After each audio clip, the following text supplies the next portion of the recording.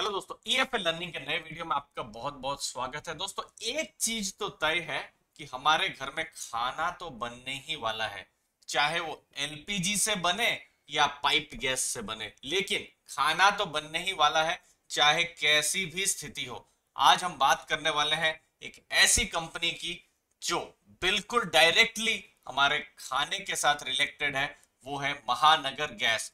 Company dividend और financial result देने वाली है, हम उसके बारे में बात करेंगे बिज़नेस को समझेंगे एलपीजी पीएनजी के बारे में समझेंगे। दोस्तों, बहुत सारी नॉलेज हम लेके जाने वाले हैं इस वीडियो से, और हम ये समझेंगे कि क्या ये बिज़नेस भविष्य के लिए आप देख सकते हैं मतलब अगले 10-15 साल के लिए देख सकते हैं।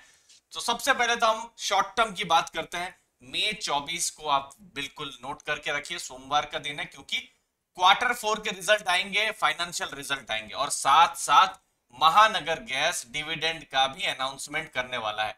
ऑलरेडी नौ रुपए का इंटरिम डिविडेंड जो है फेब्रुवरी महीने में उन्होंने अनाउंसमेंट किया था। और पिछली बार 25.5 साढ़े पच्चीस रुपए उन्होंने डिविडेंड दिया था, लेकिन उसमें एक स्पेशल डिविडेंड भी था। तो एक, उनकी हिस्ट्री रही है, नौ रुपए से बारह रुपए के बीच में डिविडेंड देने की तो हमको उस दिन पता चलेगा कितना डिविडेंड होगा। तो इसको इन्वेस्टर ज़रूर नोट करके रखें। 1100 के आसपास स्टॉक प्राइस है। अगर पिछले साल की सब बात करें तो अच्छा खासा डिविडेंड यील्ड है। देखते हैं अभी कितना डिविडेंड आता है। अब हम थोड़ा सा शॉर्ट से लॉन्ग टर्म की तरफ़ जाते हैं। देखिए, महानगर गैस क्या है? सिटी गैस डिस्ट्रीब्यूशन कंपनी है। और कहा? कौन सा शहर? मुंबई शहर। मुंबई तो शहर दोस्तों, सबसे ज़्यादा अगर हम कहें रेवेन्यू अगर कोई लाता है पूरे देश में तो वो है मुंबई का शहर। और वहाँ पर सीएनजी और पीएनजी मतलब जो बसें चलती हैं, ऑटो रिक्शा चलते हैं, वो सीएनजी से चलते हैं और पाइप नेचुरल गैस जो आपके घर में जो रसोई होती है, खाना बनता है, वो होता है पीएनजी से होता है। तो बिल्कुल आसानी से हम इसको समझ पा रहे हैं और नेचुरल गैस की एक थीम भी चल रही है, जो हम देख पा रहे हैं कि ज़्यादा से ज़्यादा नेचुरल गैस पर भी गवर्नमेंट का फोकस है। तो देखिए सीएनजी के आप यहाँ पर सात लाख सत्तर हज़ार यहाँ पर व्हीकल्स का एक कस्टमर बेस है और भविष्य में ये बढ़ता ही जाएगा, जी, क्योंकि पेट्रोल, डीजल से भी कोशिश की जा रही है कि हमारा डिपेंडेंस कम हो।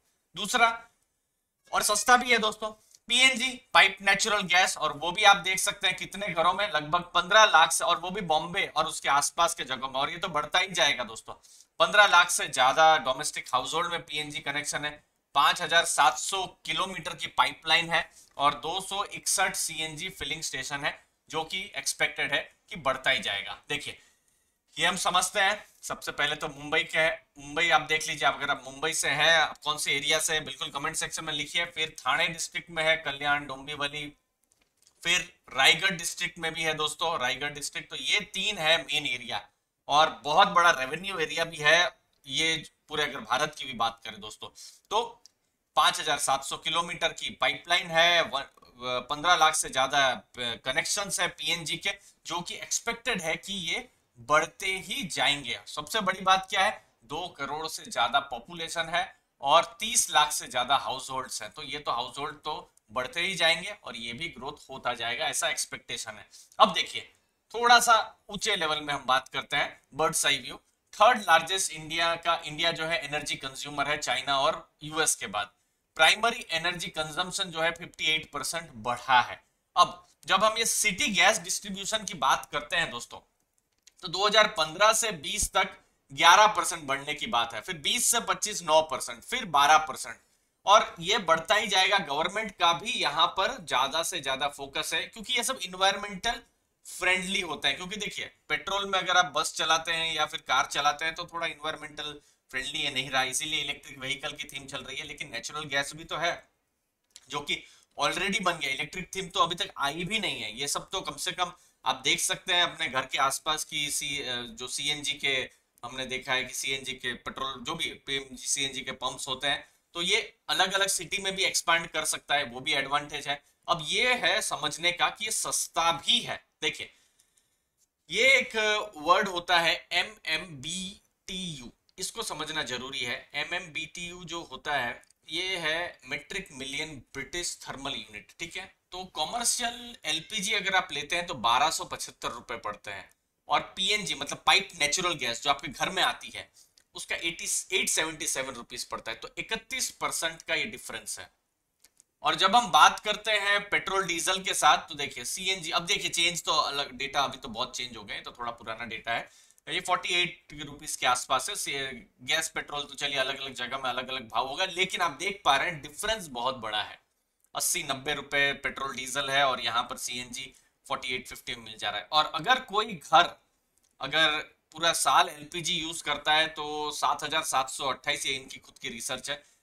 इतना पैसा यूज़ होगा और पीएनजी में छह हज़ार चार सौ अड़सठ रुपए मतलब सोलह परसेंट का डिफरेंस भी पड़ता है। तो चीप भी है और सेफ़ भी है और घर में भी आपके गैस आ जा रही है। कहीं पर भी फ़ोन करने की ज़रूरत नहीं है गैस सिलेंडर वाला आएगा। तो ये एक भविष्य में बड़े बड़े शहरों में इनफैक्ट हम नई दिल्ली है या फिर अहमदाबाद है, मुंबई, ये सब जगह में हम देख भी रहे हैं, ये सब चेंजेस हो रहे हैं। ग्रोथ आप देख सकते हैं 12 परसेंट का पाँच साल का सीएजीआर ग्रोथ है। चार लाख इक्कीस हज़ार कस्टमर से सात लाख इकसठ हज़ार कस्टमर्स हैं दोस्तों। आप यहाँ पर, ये सी की बात है। पीएनजी की बात करें तो यहाँ पर आठ लाख से, यहाँ पर बारह लाख से ऊपर ये बन गए कस्टमर हाँ फाइनेंशियल ईयर जो एच जो था, वो थोड़ा सा कमज़ोर था अप्रैल से सितंबर क्योंकि बहुत ज़्यादा यूजेज नहीं था, कार ही नहीं चल रही थी, गाड़ियाँ ही नहीं थी ऑटो ही नहीं चल रहे थे तो फिर यूजेज कम हुआ ही होगा।